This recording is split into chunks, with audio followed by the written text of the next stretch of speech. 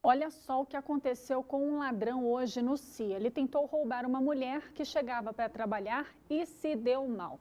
A mulher é lutadora de Muay Thai há alguns anos e conseguiu imobilizar o ladrão com um famoso mata-leão. Veja aí no vídeo. Testemunhas contam que ela percebeu que ele não estava armado e aí resolveu aplicar o golpe no ladrão. Depois disso, a PM foi chamada e levou o bandido.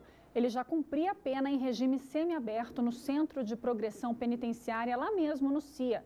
Lembrando só que é melhor não reagir, porque não se sabe o que um cara desse pode fazer, ainda mais se estiver armado, né? E olha que perigo, uma criança de 11 anos levou um tiro na boca dentro de casa por volta de meio-dia em Santa Maria. De acordo com a polícia, o disparo foi acidental. O cunhado do garoto, que também é um adolescente com 15 anos, estava brincando com a arma quando ela disparou.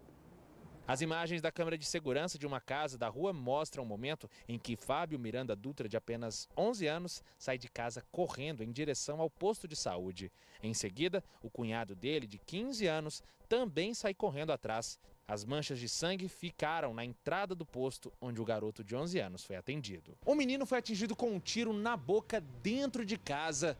Ele e o namorado da irmã brincavam com uma arma de fogo. O cunhado fugiu depois que o garoto foi socorrido. Após o fato, ele desapareceu, mas a gente, tá, a gente entrou em contato com os familiares dele e possivelmente ele deve ser apresentado. A arma usada no crime foi levada por esses dois homens que também aparecem nas imagens. A primeira versão apresentada pela namorada do menor, dono da arma e do irmão baleado, é que dois homens encapuzados teriam descido de um carro e disparado contra eles, o que foi desmentido pelas imagens. A gente viu que, pelas imagens, que aquela conversa que eles é, apresentaram inicialmente, que foi apresentada é, pelos parentes, os próprios parentes da vítima, não condiziam com a realidade. A gente conversou com a irmã é, da vítima, que é a namorada do autor, e ela esclareceu que o autor, que tem 15 anos, estava manuseando uma arma dentro da casa e acidentalmente efetuou um disparo que atingiu o menor. Foi só um disparo,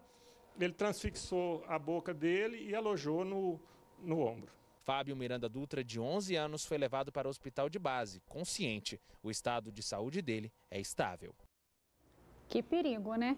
E olha, lembrando que aqui na Band você tem um canal direto para fazer denúncias, mandar vídeos, mostrar os problemas aí de onde você mora, é o WhatsApp do Band Cidade. O nosso número é o 999769204. Por hoje é isso, obrigada pela sua companhia. Vem aí o Jornal da Band. Tchau, tchau, até amanhã.